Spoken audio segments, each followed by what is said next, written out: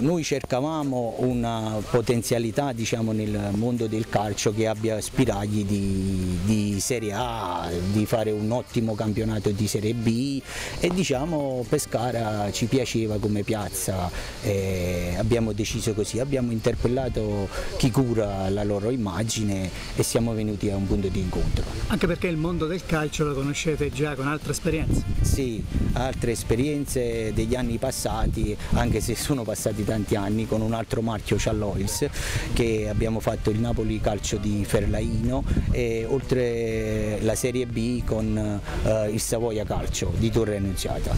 Pescara Calcio perché è una piazza forte, lo sappiamo tutti, è quasi una delle poche che è rimasta comunque qui del sud e abbiamo sempre creduto in questo tipo di operazione proprio per questo fatto, per la tifoseria soprattutto che è calda e forte. È stata un'operazione che abbiamo introdotto un po' di tempo fa eh, con l'avvocato Nicola Lotti abbiamo scritto il contratto di sponsor e il Presidente ha accolto subito l'iniziativa ed oggi diciamo che abbiamo presentato la maglia attraverso la conferenza. Si tratta di un'azienda giovane ma che opera in ambito europeo, quindi mi auguro che questo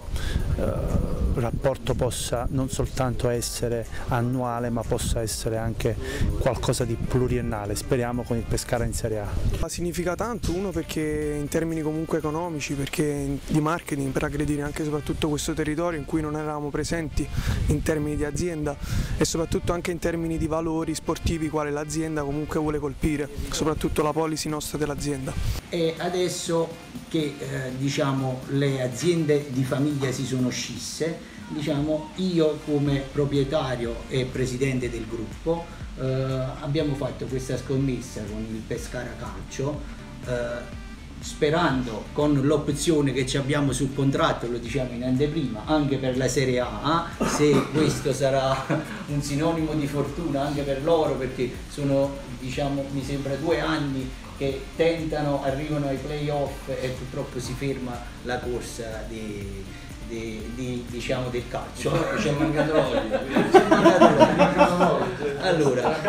per... siamo contenti, orgogliosi e soprattutto eh, intravediamo degli sbocchi giusti perché eh, non solo le aziende abruzzesi che comunque ci sono vicine oramai da quando il Presidente ha, ha, è al comando della società ma anche altre aziende eh, extra abruzzesi ci danno fiducia e quindi vuol dire che il brand Pescara Calcio cresce sempre di più in un modo giusto.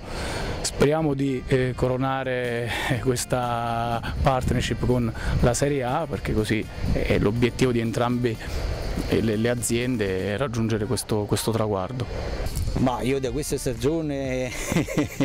esprimo il desiderio che già ho detto al Presidente Sebastiani di fare una campagna acquisti non di grossi nomi, eh, spendacciona diciamo così, però nomi azzeccati che ci permettono, dato che loro sono già due anni che fanno i playoff e alla semifinale si fermano, spero che quest'anno sia una volta buona.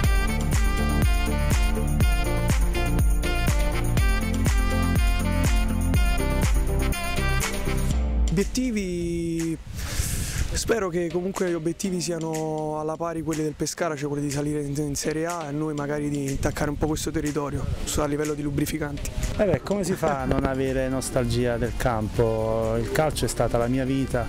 eh, a Pescara ho chiuso, però nonostante abbia chiuso il rapporto eh, contrattuale di lavoro, resta un uh, rapporto d'affetto, di stima reciproca con il Presidente, con la piazza e quindi quando torno sicuramente ci molto volentieri.